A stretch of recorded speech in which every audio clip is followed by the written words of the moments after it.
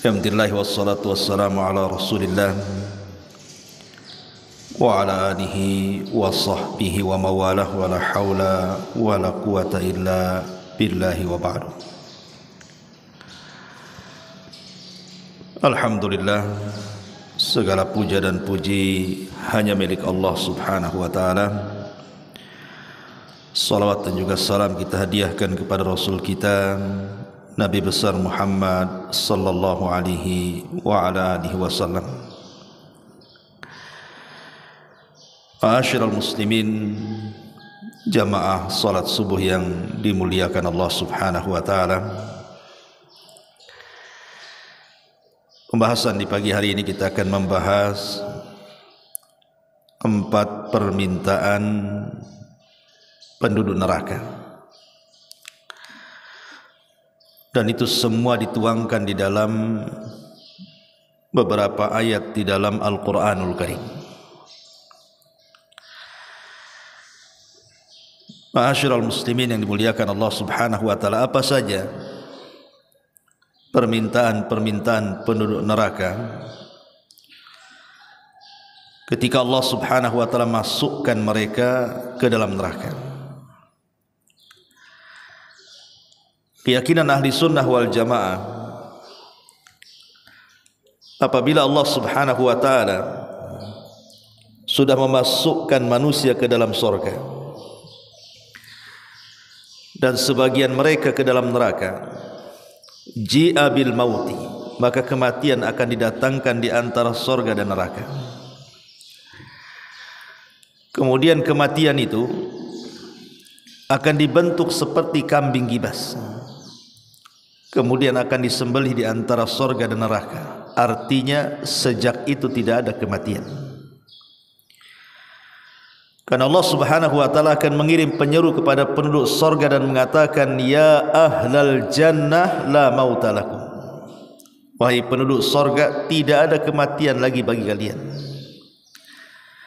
Kemudian penyeru ini datang kepada neraka dan mengatakan ya ahlan nar la mautalakum wahai penduduk neraka tidak ada juga kematian kepada kalian. Maka ketika tidak ada kematian maknanya kedua penduduk ini akan dikekalkan selamanya. Baik penduduk neraka ataupun penduduk surga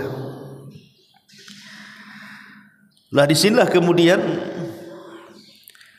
penduduk neraka yang dimasukkan ke dalam neraka dan sudah ditakdirkan dikekalkan di dalamnya maka ada empat permintaan mereka kepada Allah Subhanahu wa taala.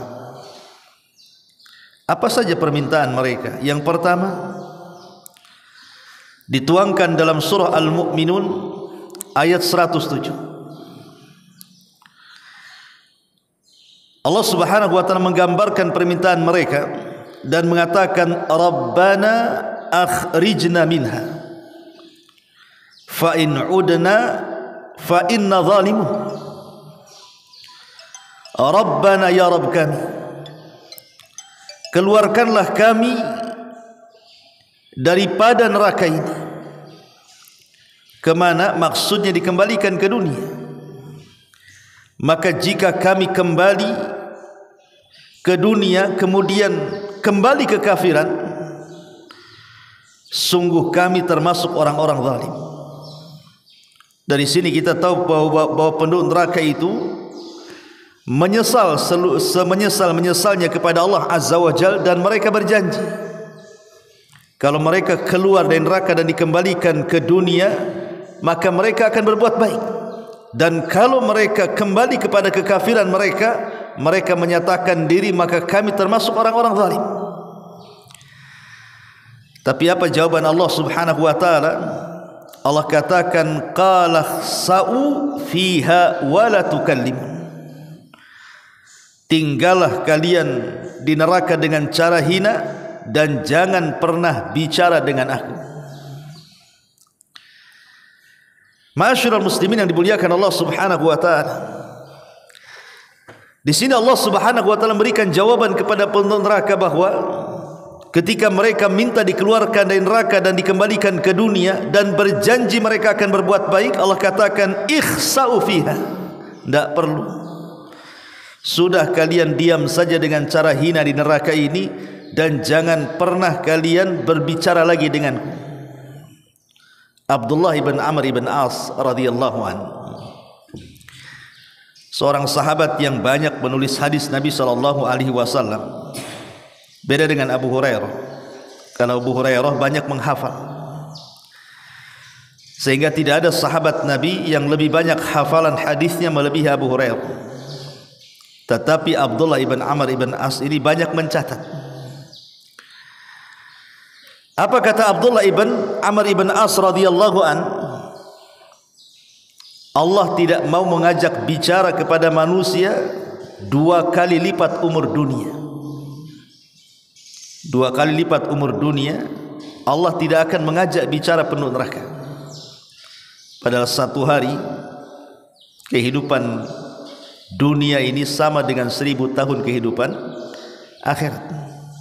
Inna yauman atau satu hari kehidupan akhirat sama dengan seribu tahun kehidupan dunia. Inna yauman inda rabbika ka alfisanatin mimma ta'udu satu hari kehidupan akhirat ini bila dibandingkan dengan kehidupan dunia itu sama dengan seribu tahun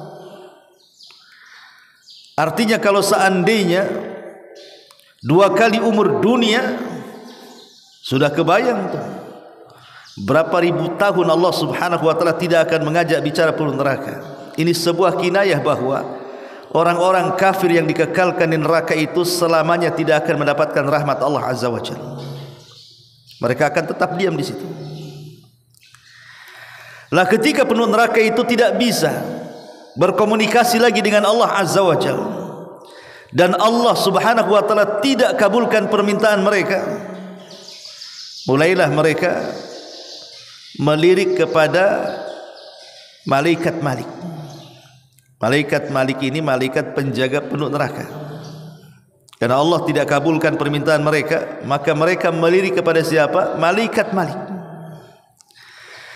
dan itu digambarkan di dalam Al-Quran juga surah Az-Zuhruf ayat 77. Di mana Allah Subhanahu wa taala menggambarkan neraka wa nadaw ya Malik liyaqdi alaina rabbuk qala innakum makithun.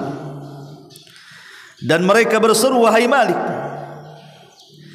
biarlah Tuhanmu mematikan kami saja tetapi malaikat Malik mengatakan Sungguh kamu akan tetap tinggal di neraka dan tidak ada kematian. Jadi permintaan yang kedua ketika mereka entah berapa ratus tahun, berapa ribu tahun mereka diazab oleh Allah Azza wa Jalla dalam neraka itu Mereka tidak tahan. Sehingga karena tidak tahan itulah mereka minta agar supaya mati saja tetapi malaikat Malik mengatakan innakum makithun. Kalian tidak akan mati dan kalian akan tetap tinggal di neraka selamanya. Subhanallah. Ya. Kemudian dikatakan laqad ji'nakum bil haqq walakin aktsarahum lil haqqi karihun. Sungguh kami telah datang membawa kebenaran ketika di dunia kepada kalian tetapi kebanyakan di antara kalian benci dengan kebenaran itu. Cukup sampai di sini? Tidak juga. Ketika kemudian mereka tidak bisa meminta kepada malaikat Malik, mulailah mereka melirik kepada malaikat-malaikat penjaga neraka yang lain. Dan itu digambarkan dalam surah Ghafir ayat 49-nya. Wa qala alladhina fin li khazanati jahannam. Ud'u rabbakum yukhaffif 'anna yawman minal adzab dan orang-orang yang berada dalam neraka itu berkata kepada penjaga-penjaga neraka jahanam wahai para penjaga neraka-neraka jahanam mohonkanlah kepada Tuhanmu agar dia meringankan azab atas kami sehari saja Karena mereka sudah tidak tahan. Antah mereka beribu-ribu tahun mereka diazab di situ. Mereka minta satu hari untuk istirahat. Tetapi Allah Subhanahu wa taala katakan yauma la yanfa'u dhalimina ma'dziratuhum wa lahumul la'natu wa lahum.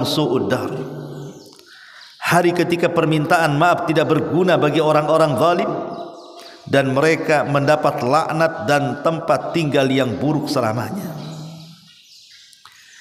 Ma'asyiral muslimin yang dimuliakan Allah Subhanahu wa taala lihat. Pertama mereka minta keluar dari neraka. Tapi Allah Subhanahu wa taala tidak kabulkan dan Allah katakan kalian akan tetap tinggal di dalamnya. Kemudian mereka meminta kepada Malik penjaga neraka agar diwafatkan saja, minta kepada Allah agar kami diwafatkan saja. Tapi malaikat Malik mengatakan tidak, kalian tidak akan diwafatkan, kalian akan tetap tinggal di dalamnya. Kemudian yang ketiga mulailah mereka minta keringanan. Ya sudah kalau tidak bisa diwafatkan. Satu hari saja. Kami ingin istirahat.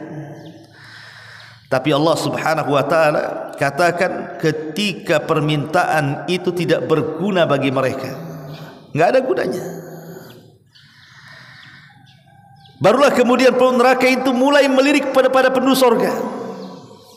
Ketika meminta kepada Allah ditolak, meminta kepada malaikat malik ditolak, meminta kepada penjaga-penjaga jahanam ditolak, mulailah mereka melirik kepada penduduk sorga. Karena neraka dan sorga itu ada jendela. Di mana penduduk sorga bisa melihat penduduk neraka, begitu juga sebaliknya. Allah Subhanahu wa taala katakan, ونادى أصحاب الجنة. أصحاب النار أن قد وجدنا ما وعدنا ربنا حقه فهل وجدتم ما وعد ربكم حقه؟ قالوا نعم. فأذن مؤذن بينهم اللعنة الله على الظالمين. ونادى أصحاب النار أصحاب الجنة أن أفيدوا علينا من الماء. Aw mimma razaqakumullah. Qalu innallaha harramahum 'alal kafirin.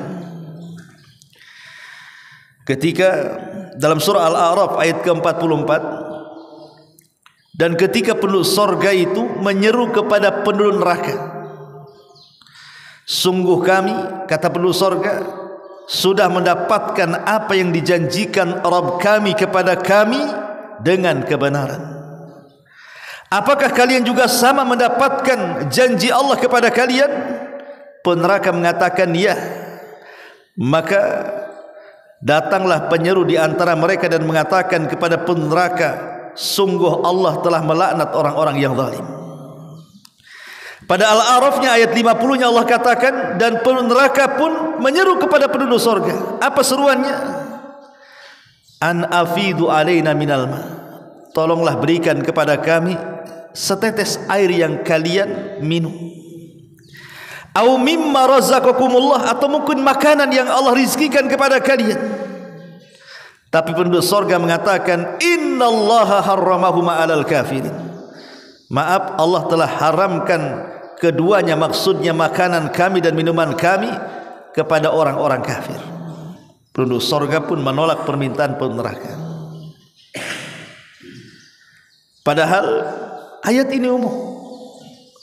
Bisa saja yang meminta air itu bapak kepada anaknya. Mungkin bapaknya di neraka, anaknya di sorga. Atau mungkin suaminya di neraka, istrinya di sorga. Atau mungkin anaknya di neraka, orang tuanya di sorga.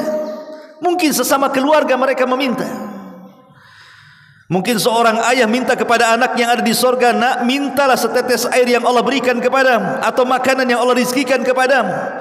Tetapi semua penduduk sorga mengatakan Innallaha harramahum alal kafirin. Allah haramkan keduanya kepada orang-orang kafir. Ketika itu sudah tidak ada jalan kenikmatan lagi. Allah tolak permintaannya Malaikat Malik tolak permintaannya Para penjaga jahanam tolak juga permintaannya Penduduk sorga pun ikut menolak permintaan penduduk neraka. Di sini terjadi penyesalan hebat penduduk neraka karena keinginan mereka tidak dipenuhi. Ma'asyiral muslimin yang dimuliakan Allah Subhanahu wa taala. Maka Al-Qur'an telah meringkas apa penyebab penyesalan sehingga mereka meminta empat permintaan dan ditolak semuanya. Yang pertama, karena dahulu penduduk neraka ini ketika di dunia mereka meninggalkan ketaatan kepada Allah dan Rasulnya dan itu disebutkan dalam surah Al-Ahzab ayat 6 yauma tuqallabu wujuhum fin nari yaquluna ya laitana ata'na Allah wa ata'na Rasulah pada hari ketika muka mereka dibolak-balik dalam neraka mereka berkata alangkah baiknya andai kata kami dahulu maksudnya di dunia kami taat kepada Allah dan kami taat kepada Rasulnya tapi mereka tidak taat kepada Allah dan Rasulnya. Maka rasakan penyesalan sekarang di neraka kemudian yang kedua Allah subhanahu wa ta'ala katakan dalam surah Fatir ayat 36 nya dan 37 nya walladzina kafar lahum naru jahannam la yuqda alaihim fayamutu wa la yukhaffafu anhum min adzabiha kadzalika nazzi kafur hum yastarikhuna fiha rabbana akhrijna na'mal salihan ghayra alladhi kunna na'mal awalam nu'ammirkum ma yatadhakkaru fihi man tadhakkar wa ja'akumun nadhir fadhuku fama lidh-dhalimin min dan orang-orang kafir bagi mereka neraka jahanam mereka tidak dibinasakan sehingga mereka mati dan tidak pula diringankan azabnya demikianlah kami balas setiap orang yang kufur. Mereka pun berteriak-teriak di neraka. Ya rabbana wahai tuhan kami. Manfaat kalimat ya rabbana? Tidak manfaat. Karena kalimat ini hanya manfaat di dunia ikhwan. Kalau kita di dunia katakan ya rabbana manfaat bagi kita. Tapi ucapan ya Rabbana di akhirat itu tidak ada manfaatnya. Ya Tuhan kami keluarkan kami saya kami akan mengerjakan amal yang saleh berlainan dengan yang telah kami kerjakan dahulu di dunia lihat mereka mengatakan menyesal pertama mereka menyesal karena tidak taat kepada Allah dan Rasulnya yang kedua mereka menyesal karena mereka tidak beramal saleh sebagaimana yang mereka pikirkan di akhirat. Kenapa aku dulu tidak beramal saleh? Makanya Allah Subhanahu wa taala jawab. Allah jawab tu benar-benar neraka itu. Awalam nu'ammirkum ma yatadzakkaru fihi man tadzakkar. Dan apakah kami tidak memanjangkan umurmu dalam masa yang cukup untuk berfikir bagi orang-orang yang punya pikiran? Dan apakah tidak datang kepadamu pemberi peringatan? Maka rasakanlah azab kami dan tidak ada bagi orang-orang yang zalim seorang penolong pun. Imam Bukhari dalam kitab Sahih Bukhari membuat bab peringatan kepada orang-orang yang berusia 60 tahun. Dari 40 sampai 60 tahun. Jadi Imam Bukhari itu membawakan ayat ini kemudian memberikan judul atau bab dalam sahihnya tentang tidak ada uzur bagi orang-orang yang berusia 60 tahun untuk tidak bertobat. Artinya kalau di usia 40 tahun sampai 60 tahun kok tidak bertobat berarti setelah tidak akan dapat taufik. Gitu maksudnya. Kalau orang sudah 40 tahun sampai 60 tahun tidak juga bertobat kepada Allah, maka akan susah dapat taufik setelahnya. Karena di sini Allah singgung kepada peneraka, bukankah aku telah berikan usia panjang? Maksudnya 40 sampai 60 tahun gitu maksudnya. Kalau dalam rentan umur begini tidak berubah juga, subhanallah. Orang itu susah akan dapat taufik. Kenapa? Ulama menjelaskan. Karena usia 40 sampai 60 tahun itu rata-rata nikmat Allah itu sudah Allah berikan hampir secara keseluruhan. Rata-rata usia 40 sampai 60 tahun sudah berumah tangga. Sudah punya anak. Sebagian mereka sudah punya cucu. Sebagian mereka sudah punya pekerjaan yang mungkin mapan. Dan akal pun sudah sehat. Makanya Nabi itu diutus tidak di usia 25 atau 30 tahun tidak, tapi di usia 40 tahun karena di situlah akal manusia sehat-sehatnya. Makanya sering saya katakan dari segi mengkonsumsi makanan saja di usia 40 tahun ke atas itu makan itu bukan pakai mulut tapi pakai akal. Bukan pakai mulut kan, bukan pakai akal. Kalau pakai mulut mungkin di usia 20 tahun pakai mulut. Mau sate 100 tusuk pun main hantam saja. Tapi kalau sudah 40 tahun ke atas pakai akal dia makannya. Ini tidak bisa dimakan ini. Gula naik. Nggak bisa makan ini. Kolesterol naik. Nggak bisa makan ini. Asam urat naik. Akalnya main. Dan itu tidak haram, tidak ada masalah karena untuk kebaikan kan. Tapi dari situ kita tahu bahwa dari segi makanan saja sudah dikurangi nikmat tuh. Nikmat kita itu sudah dikurangi, tenaga sudah mulai berkurang, syahwat sudah mulai berkurang, makanan juga sudah mulai berkurang, macam-macam sudah mulai berkurang. Lah kalau seandainya tanda-tanda kurangnya nikmat itu menyadarkan dia, kapan lagi dia sadar gitu maksudnya? Makanya Allah Subhanahu wa taala berikan kesempatan di usia 40 tahun sampai 60 tahun itu sadar enggak kamu? Allah katakan awalam nu'ammirkum ma yatadzakkaru fihi man tadzakkar. Dan apakah kami tidak memanjangkan umur dalam masa yang cukup untuk berfikir bagi orang-orang yang berfikir. Kemudian Allah Subhanahu wa taala sebutkan dalam surah As-Sajdah-nya ayat 12, "Walau tara idil mujrimuna nakisu ru'usihim inda rabbihim" Rabbana absarna wa sami'na farji'na na'mal salihan inna mukinun. Dan alangkah ngerinya jika sekiranya kami melihat ketika orang-orang yang berdosa itu menundukkan kepalanya di hadapan Rabbnya seraya berkata wahai Rabb kami kami telah melihat dan mendengar.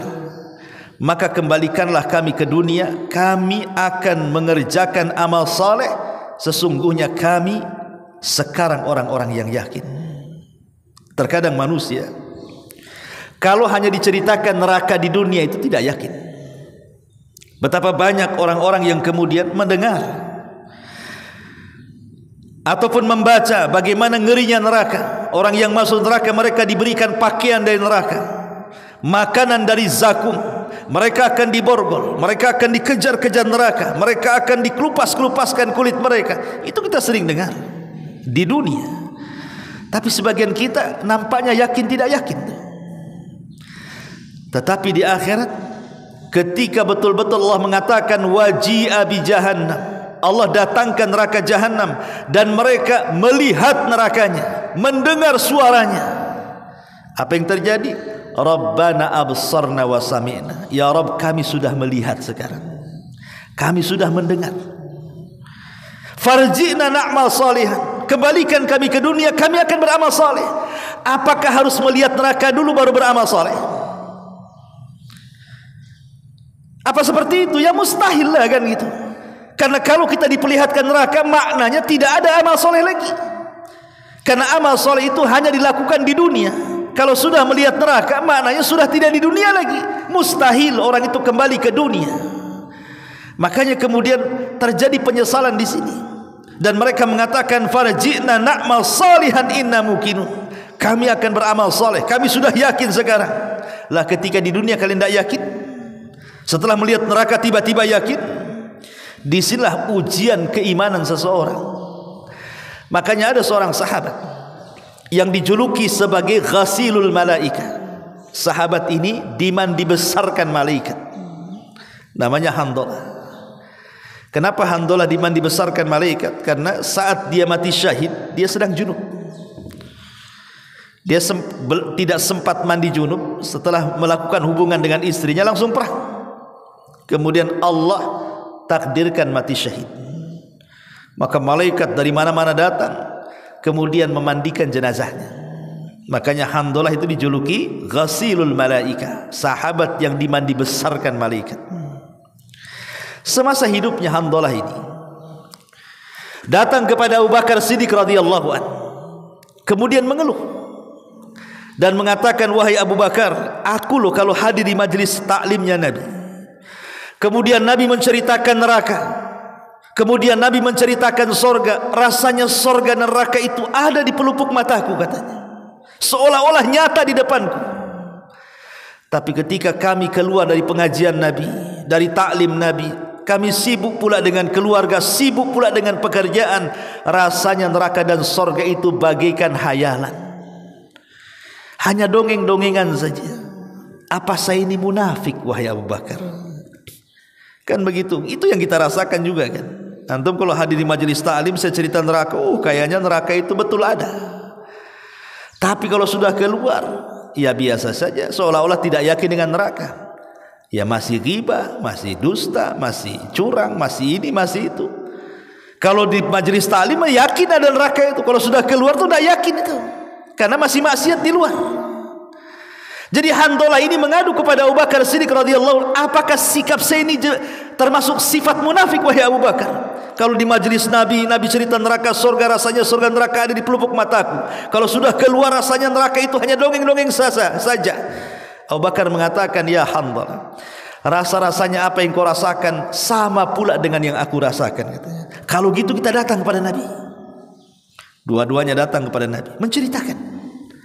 Rasul, kami berdua kalau duduk di majlis ta'limu mendengar kau cerita neraka dan sorga seolah-olah sorga neraka ada di pelupuk kami berdua. Tapi ketika kami keluar dari pengajianmu Seolah-olah surga neraka itu hanya dongengan belaka. Apa kami dua termasuk orang munafik wahai Rasul? Maka Nabi SAW mengatakan kepada Hamdalah Menasihati Ya Hamdalah Tidak. Walakin ya Hamdalah sa'atan sa'at Itu bukan munafik. Tapi ingat wahai Hamdalah Bisa saja perkara itu menuju ke sana. Maka saya nasihatkan kepadamu walakin sa'atan sa'ah kok boleh bekerja sesaat tapi kau juga harus hadir di majlisku sesaat. Kau boleh sibuk dengan dunia tapi juga luangkan waktumu untuk akhirat. Ya. maknanya apa? Hadir di majlis taklim itu perlu gitu karena hanya majlis taklimlah yang bisa meluruskan kehidupan kita di luar sana Siapa lagi mau nasihati antum kalau sudah di luar ikhwan? Hanya orang-orang yang hadir majlis taklim baru teringatkan oh ada neraka, ada surga, ada halal, ada haram, ada baik, ada buruk dan begitu seterusnya. Makanya Nabi mengarahkan, kau tidak munafik, tapi ingat satu saat kau boleh sibuk dengan dunia, tapi saat yang lain sibukkan dengan akhirat. Hadir di majlis taklim. Ma'asyiral muslimin yang dimuliakan Allah Subhanahu wa taala. Pun Allah Subhanahu wa taala katakan dalam surah Al-Haqqah ayat 25 wa amma man utiya kitabahu bishimali fayaqulu ya laitani lam uta kitabia Adapun orang-orang yang diberikan kepada mereka catatannya dari sebelah kirinya maksudnya orang-orang kafir maka dia berkata wahai alangkah baiknya kiranya tidak diberikanlah kepadaku catatan-catatan ini kenapa karena dia tahu isinya keburukan dia semuanya dia baru menyesal bahwa seluruh isi catatan selama di dunia itu tidak ada yang baik. Makanya kalau bisa dilempar saja catatan itu, tapi kan tidak bisa. Dia harus tetap mengambilnya tanda bahwa dia termasuk orang kafir. Dari situlah Allah Subhanahu wa taala katakan dalam surah An-Nabanya, "Ya laitani kuntu turaba." Duhai kiranya aku jadi pasir saja. Aku jadi tanah saja supaya aku tidak dihisab dan tidak diadab Allah Subhanahu wa taala. Tapi ini semua mustahil. Ma'asyiral muslimin yang dimuliakan Allah Subhanahu wa taala, jangan lagi orang-orang kafir yang saya ceritakan di sini. Orang-orang yang beriman saja mereka pun akan menyesal karena kekurangan mereka beramal soleh di dunia. Bahkan dalam sebuah hadis Ketika Nabi Shallallahu Alaihi Wasallam suatu hari dia lewat di sebuah kuburan. Kemudian Nabi SAW mengatakan, Man sahib hadal qabr. Siapa pemilik kuburan ini? Maka para sahabat yang lain mengatakan, Fulan ibn Fulan. Itu kuburannya Fulan bin Fulan, wahai Rasul. Maka Nabi SAW mengatakan, Rak'atani ahabba ila hadha min baqiyati dunyakum kata Nabi sallallahu alaihi wasallam dua rakaat yang ia lakukan kalau seandainya dia bisa solat dalam kuburan itu dua rakaat itu lebih dicintai daripada dunia yang kalian miliki semuanya. Jadi kalau seandainya penduduk kuburan itu mereka masih diberikan kesempatan oleh Allah untuk melaksanakan dua rakaat saja. Salat sunnah. Itu jauh lebih baik daripada satu dunia dan kenikmatannya. Karena itu yang diperlukan mereka. Apalagi coba? Yang diperlukan mereka hanya itu saja amalan soleh. Makanya dalam hadis yang lain rak'atani khafifatani mimma tahkiruna wa tanku wa tanfuluna yaziduhuma hadha fi amalihi ahabba ilaihi min baqiyati dunyakum salat sunnah dua rakaat yang ringan yang kalian remehkan. Kemudian ditambahkan pada amalan orang ini itu jauh lebih dia cintai dibandingkan dunia yang kalian kuasai. Subhanallah ya jadi orang-orang yang beriman saja mereka menyesal karena mereka mungkin kurang beramal banyak di dunia sehingga mereka berangan-angan untuk bisa solat walaupun hanya dua rakaat sunnah dalam kuburan mereka. Bahkan Allah Subhanahu wa taala katakan dalam Al-Qur'anul Karim juga hatta idza jaa ahaduhumul maut qala rabbirji'uni la'alli a'malu salihan fi ma hingga apabila datang kematian kepada seseorang dari mereka mereka mengatakan ya Rabb kami kembalikan kami ke dunia agar kami bisa beramal saleh. Dalam ayat yang lain fa asaddaqa wa akum minas salihin. Agar kami bisa bersedekah dan bisa beramal saleh. Tapi di dunia di akhirat tidak mungkin. Jangankan lagi di akhirat di kuburan saja tidak mungkin apalagi orang sudah masuk neraka kan? Permintaan itu pasti ditolak. Kalau di dunia masih mungkin lah. Seperti hadis Nabi SAW mengatakan lau anna libni adam wadiyan min zahabin ahabba an yakuna lahu wadiyani walan yamla'u fahu illa turab wa yatubullahu ala man seandainya seseorang itu memiliki satu lembah emas di dunia niscaya dia ingin memiliki dua lembah emas lagi Mungkin, mungkin. Ada orang bercita-cita ingin punya rumah kan? Sudah punya rumah, ingin punya rumah lagi. Allah kabulkan, Allah kabulkan, punya rumah lagi dia. Sudah punya dua nih, pingin punya tiga, Allah kabulkan, Allah kabulkan. Dikasih lagi tiga, dikasih lagi empat, lima, enam. Itu mungkin permintaan di dunia. Tidak ada yang mustahil di dunia ini bagi Allah Subhanahu wa taala. Tetapi di akhirat mana mungkin? Makanya kita lihat di dunia itu para pengusaha yang mungkin miliarder gitu ya. Dulunya orang-orang susah, orang-orang miskin. Maknanya apa? Cita-cita dan permintaan mereka itu semua dikabulkan di dunia. Tapi di akhirat mungkinkah dikabulkan? Mustahil. Permintaan-permintaan di akhirat tidak mungkin dikabulkan. Makanya lihat empat permintaan pun neraka yang sudah saya jelaskan di awal semua ditolak mereka ingin keluar dari neraka. Allah tolak. Bahkan Allah tidak akan mengajak bicara selama dua umur kekuasaan umur dunia. Dua kali umur dunia lagi. Berdasarkan perkataan Abdullah ibn Amr ibn As radhiyallahu an kemudian mereka minta dimatikan. Nak mau hidup di neraka. Minta kepada malaikat Malik. Malaikat Malik menolaknya dan mengatakan apa? Sudah kalian tinggal saja di neraka. Ngapain minta mati-mati? Kemudian mereka meminta kepada penjaga neraka untuk satu hari istirahat. Tapi para penjaga neraka pun sama, tidak ada istirahat bagi kalian. Oke, kalau tidak ada istirahat, mereka ingin merasakan nikmat penuh sorga, hanya makan atau minum sedikit saja yang Allah rizkikan kepada mereka. Penuh sorga pun menolak semuanya. Artinya bahwa kondisi-kondisi seperti ini, inilah penyesalan yang hakiki yang tidak mungkin seseorang lari dari kenyataan kelak di neraka naudzubillah thumma naudzubillah inilah di antara empat permintaan pun neraka yang Allah Subhanahu wa taala tidak kabulkan kepada mereka. Subhanakallah bihamdika asyhadu an la ilaha illa anta astaghfiruka wa atubu ilaik.